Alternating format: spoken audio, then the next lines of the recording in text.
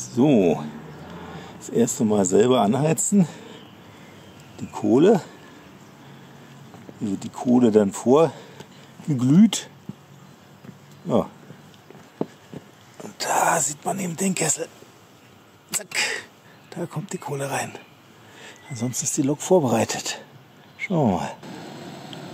Ja, mit dem Gasbrenner wird die Kohle warm äh, vorgeglüht.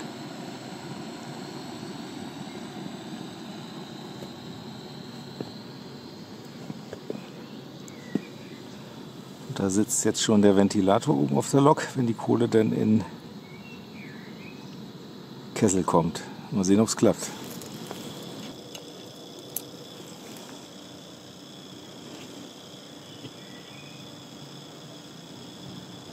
Bisschen Glut sieht man schon.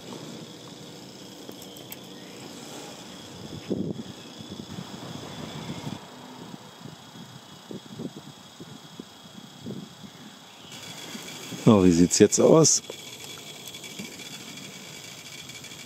Glüht, glüht ein bisschen.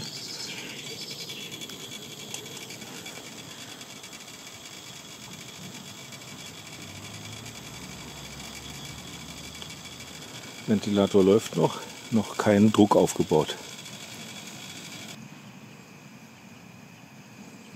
Jetzt ist der Hilfsbläser an.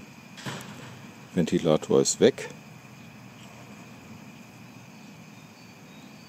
Druck hat sich immer noch nicht aufgebaut.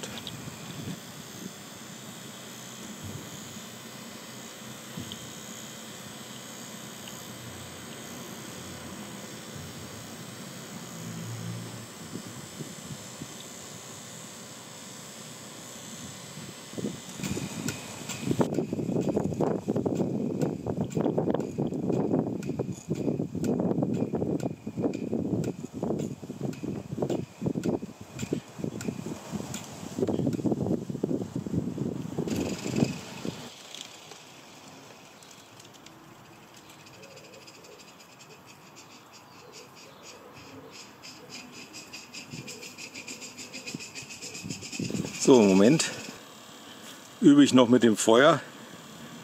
Bin schon wieder liegen geblieben.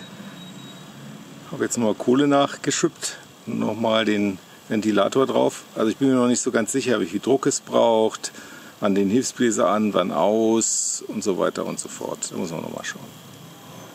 Aber jetzt baut er ja wieder Druck auf. Das sieht ja schon mal gut aus.